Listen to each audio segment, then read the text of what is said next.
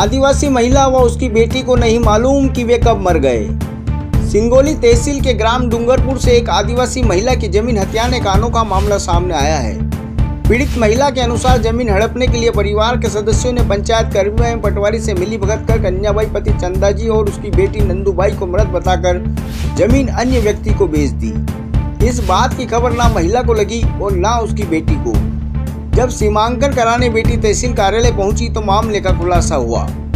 परेशान पीड़ित महिला व उसकी बेटी ने पुलिस में भी कई बार रिपोर्ट दर्ज कराई, मगर कोई हल नहीं निकला। इससे परेशान आदिवासी महिला की बेटी नंदूबाई मंगलवार को कलेक्टर की जनसुनवाई में पहुँची और ज़मीन और मकान वापस दिलाने के लिए जिला प्रशासन से गुहार लगाई। इस मामले में आदिवासी भील समाज के कई लोग भी महिला के साथ कलेक्टर कार्यालय पहुँचे और पीड़िता को न्याय दिलाने के लिए जिलाधीश को आवेदन दिया।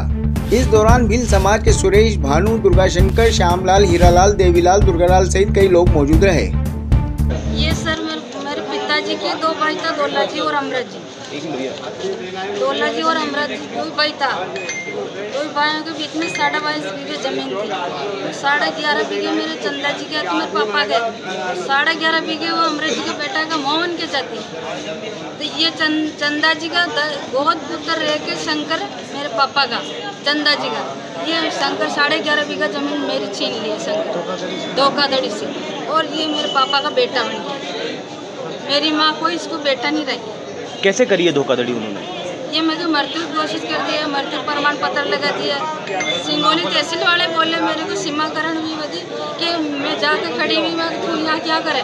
लेकिन मैं चंदा की बारिश हूँ ये तुम्हारा तुम्हारा कोई नहीं है यहाँ चंदा के कोई परिवार नहीं है सब मर गया चंदा के भाई को और नंदू भाई को मैं दोनों को ही कौन है ये दोनों हाँ कौन है ये दोनों हमारी माँ है और कब आपके सामने सात आठ साल का मामला है कब आपके सामने कब आया कि ऐसा कुछ हो गया पंद्रह साल नहीं अभी कब मालूम पड़ी कब पता मर पड़ी गए? कब मालूम पड़ी कब मर मर गए आप कब मालूम पड़ा ये सात आठ साल का मामला है मृत्यु घोषित था अच्छा आपको मालूम नहीं था क्या आपको अभी तक मालूम नहीं चला ये हैं, हैं। कब पता चला आपको माने ये सीमाकरण भी यदि पता चलिया कि तू चंदा की वारिस नहीं है। मैं क्यों हूँ? चंदा की वारिस हूँ।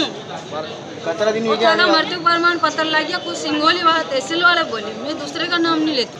उठा कब्जों की तो पटवारी भागी हम्म। पटवारी बोले प्रकाश जैन बोले मैंने कहा ये तो हाथी के नाम पे बेगी तेरा कोई कब्जा नहीं है पर प्रकाश जैन बोले मैं। ये तो हाथी का नाम पे। है। अभी अभी आप क्या मांग कर रहे हैं यहाँ पे आके? मेरे घर और ज़मीन मेरे पापा की मेरी माँ की हमारी छाप। ये मामला आया कि कि एक महिलाओं और एक बुज़ुर्ग बेटी के साथ में अन्याय हुआ है और अन्याय ऐसा हुआ है कि इनकी ज़मीन दूसरे समाज, अगर समाज के नाम कर दी गई है। बिना जाँच करे पंचायत मंत्री सरपंच पटवारी ने मृत्यु परिणाम बनाकर इनकी मृत्यु घोषित कर दिया गया अब इनके बाईस बीघा ज़मीन थी, बाईस बीघा ज़मीन में तो आधी दोनों भाई बात थी इनके काका जी ने इनको मिलकर ज़मीन दूसरे को भिजवा दी और दूसरे के नाम करवा दिए। तो ये आदिवासी के साथ अन्याय अत्याचार हुआ है, क्योंकि इससे गलत हुआ है और इस तरह इनको बार बार इन्होंने कानून कार्रवाई करने के कहा तो उनकी कार्रवाई नहीं हो पा रही क्योंकि उनको बार बार इधर से उधर भटकाया जा रहा है। बार बार बोल रहे कहाँ होगा आपका काम, कार्य होगा।